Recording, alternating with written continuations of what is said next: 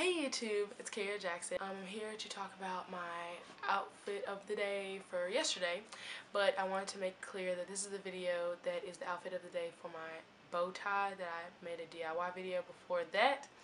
Um, I will put a link in the description of this video to the DIY bow tie video also. Mm. I don't know what else. Oh, um, a lot of you have been asking about my hair, like hair care, and I know I straightened my hair in this video, but it's usually really curly. Um, I will be making a hair care video, like on everything I do to my hair, either straight or curly video. It's coming soon, so don't worry about that. Um, I know that I was chewing gum in this video, and I don't care. It was really nice gum. I think that's it. Bye. Or, no, just kidding. Not bye. Here's the video. Okay guys, this is my outfit of the day video for August 3rd, 2012.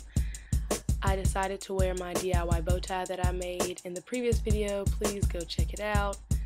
Um, I also decided to wear my red button down that I got from JCPenney's. I've had it for a while, but I really like this button down because it's not the normal polyester cotton button down. It's very shiny.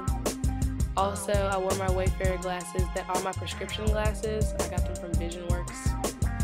Um, also, I wore a thin white belt that I got from Kohl's. I really like thin. And also I wore my high-waisted pants that were long jeans and I cut them off into shorts and I got them from Goodwill.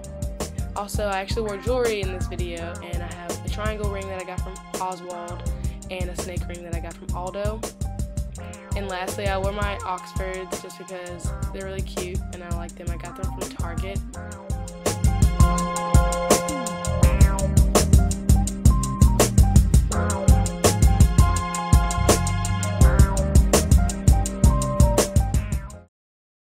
So, what'd you think?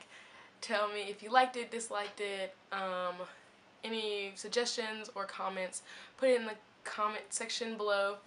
Um, also, follow me on Instagram at, at Karah Jackson, on Twitter, if you do a Twitter, it's handle underscore with underscore care. Um, also, follow me on Tumblr, that's karahjay.tumblr.com and my personal Tumblr with all the pictures that I've taken, all of my photography, it's karahjackson.tumblr.com. I would love to hear any suggestions. I'm very open to anything. So thanks for watching my video and I hope you enjoy your day.